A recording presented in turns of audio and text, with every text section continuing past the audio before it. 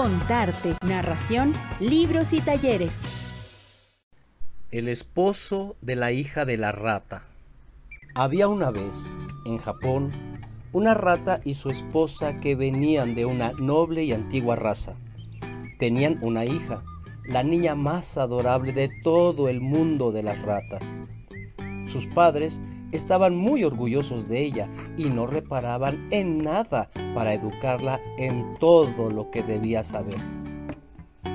No había otra dama en todo el pueblo que fuera tan inteligente como ella en roer la madera, ni que pudiera caer con más elegancia desde lo alto en una cama, o escapar más deprisa que nadie al oír venir a alguien.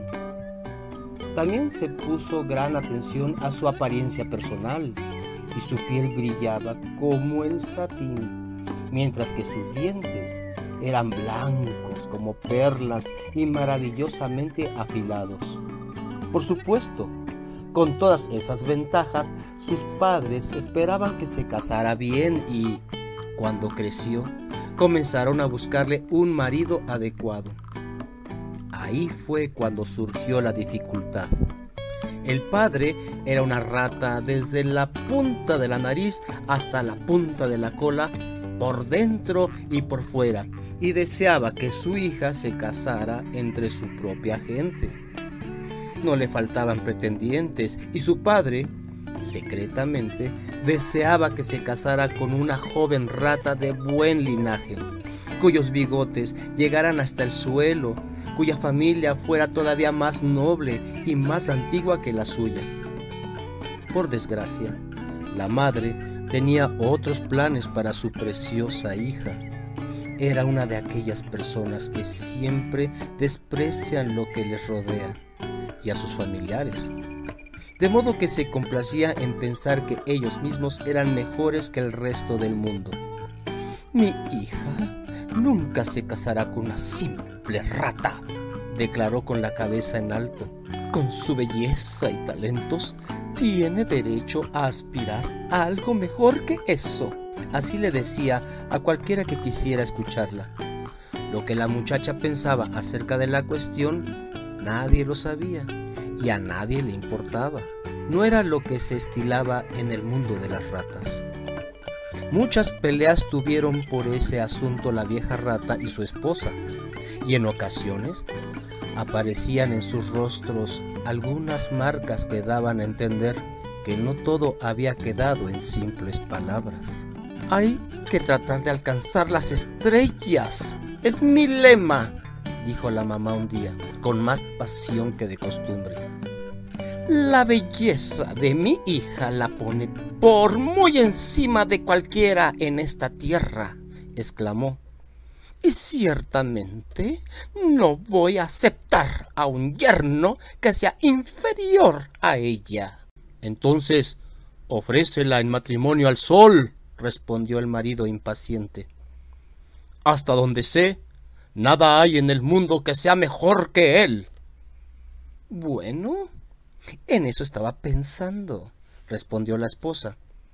Y como eres del mismo parecer, iremos mañana a hacerle una visita.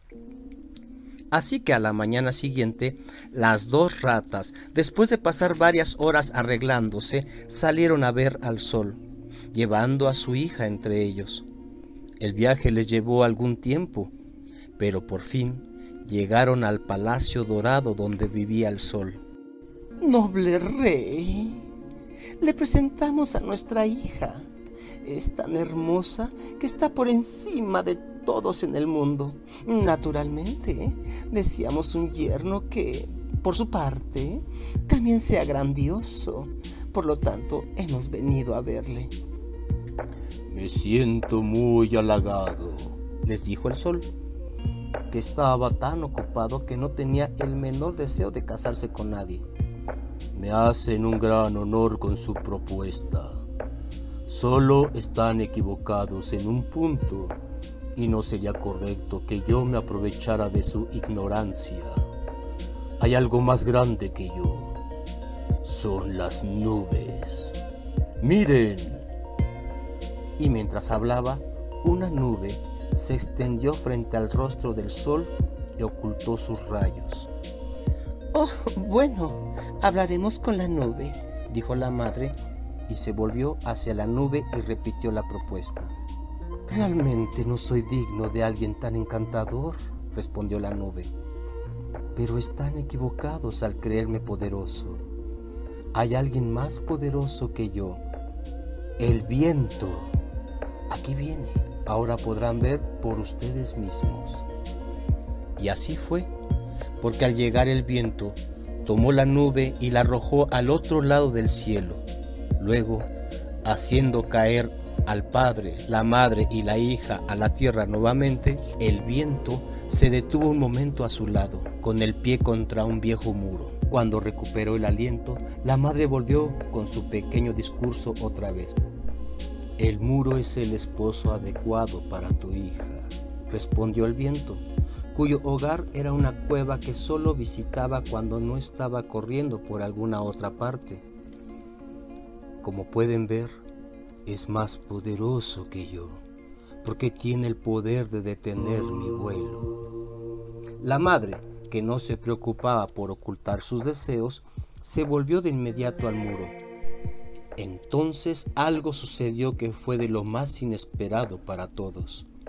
No me casaré con ese muro tan feo, que es más viejo que mi abuelo, lloró la muchacha que en todo ese tiempo no había dicho ni una sola palabra. Me hubiera casado con el sol, o la nube, o el viento, porque era mi deber, aunque estoy enamorada de una joven rata muy apuesta y solo lo amo a él. Pero con ese horrible muro, primero muerta. Y el muro, un tanto herido en sus sentimientos, dijo que no era el esposo adecuado para una niña tan bella.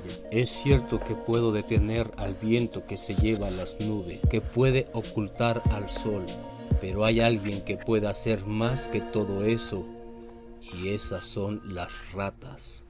Son las ratas las que pueden atravesarme y reducirme a polvo tan solo con sus dientes. Por tanto, si desean un yerno que sea más poderoso que nadie en el mundo, busquen entre las ratas. ¡Ah! ¿Qué te dije? exclamó el padre. Y la esposa, aunque de momento se enfadó por haber perdido, pronto se convenció de que un yerno rata era lo que siempre había deseado. Así que los tres volvieron felices a su casa y la boda se celebró tres días más tarde.